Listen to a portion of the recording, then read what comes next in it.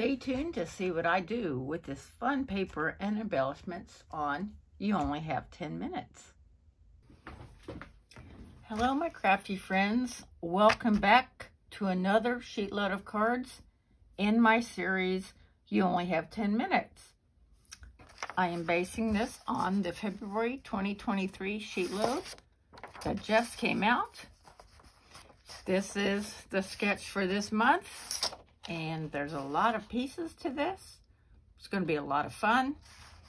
Our A2 card bases are portrait style, meaning it goes up and down like this.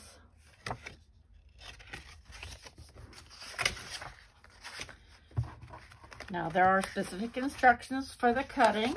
So when you get this, you will see that there's 24 pieces of this and 24 pieces of this. Although the very first one I cut was always kind of an experiment. And then I learned. so this came out a little bit smaller, so I cut this one down too. So I have these pieces and these. This comes from my newest set from Club EP called Homemade. I thought that was pretty appropriate. And here's an example of the sticker sheet. I will be putting some of these in the cards as well as these hearts because I'm going to be making more Valentine cards. I'd love to donate them to my church. So it took me about 10, between 10 and 15 minutes to get everything cut and my card base is folded. This is a beautiful light pink. This was a set from Recollections. So I thought it would go really well. And I'm going to be using different sentiments. If you recognize these, these are some sentiments that Alicia of Call Me Crafty Owl offered us. And so I just printed some out on cardstock. So I'm going to be using those, as well as some ephemera from my kit.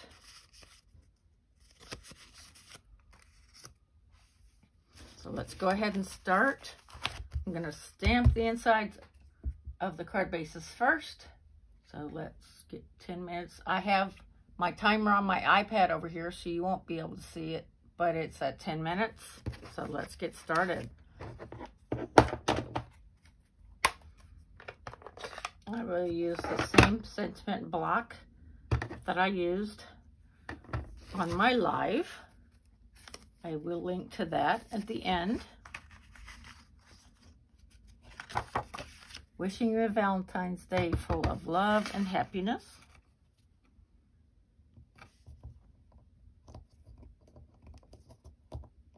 I always like to stamp the inside first in case I make a mistake like that because it's awfully light. I can just turn it over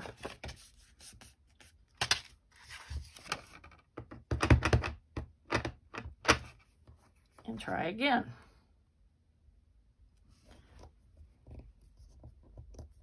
And then if neither one of them are great, I will pick the best one.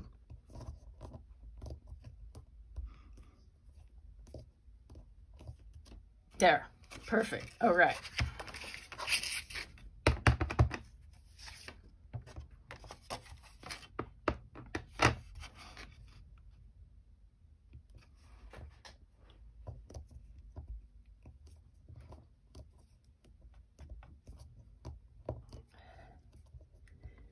I thought these pattern papers lended well to Valentine's Day. We've got flowers and we've got a pretty orangish red plaid.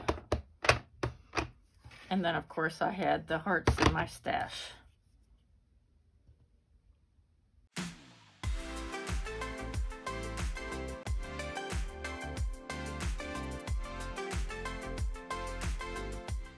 I will put a picture up there of how I did a non-generous cut, like Alicia points out.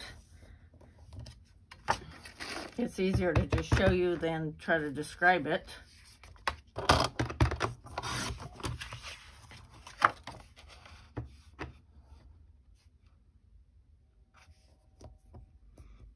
That way you make sure you get 24 of these instead of 23 and 23 full-size ones and then the last piece is way too small, like a half inch if you don't make sure about those cuts.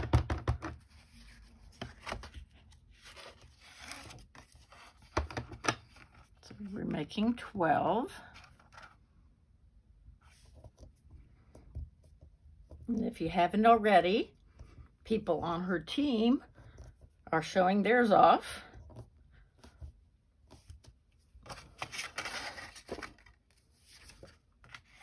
There's always such a great variety of creativity there.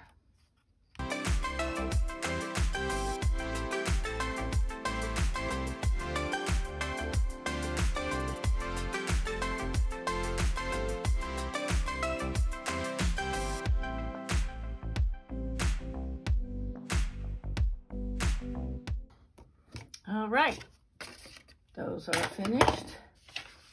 Let's go ahead and mat our pieces. This will go on the front of the card, like so.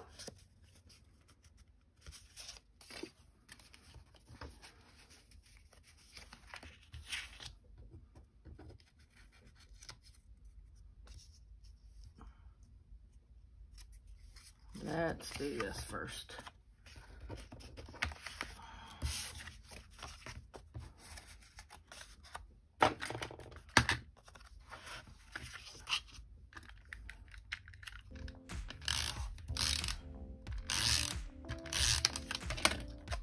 Pretty flowers here.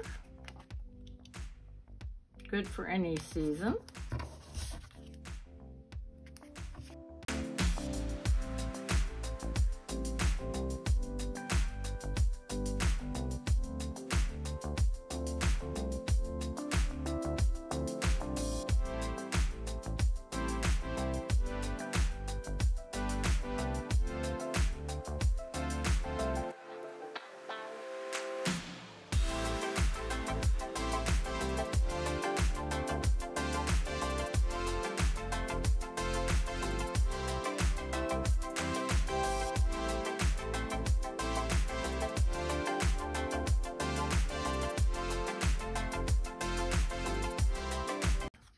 Going to go ahead and attach the matting to the cards first, and then we'll put the pieces on. If that makes sense.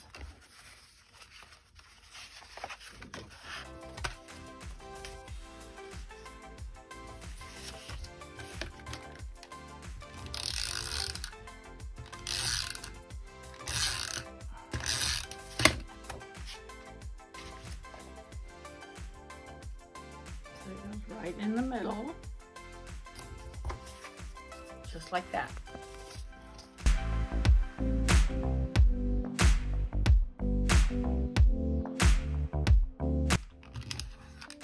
Yep, we're out of, ah, that figures.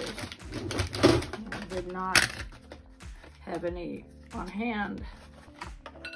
Yep, okay. There goes my timer. Okay, well, we've got everything matted here.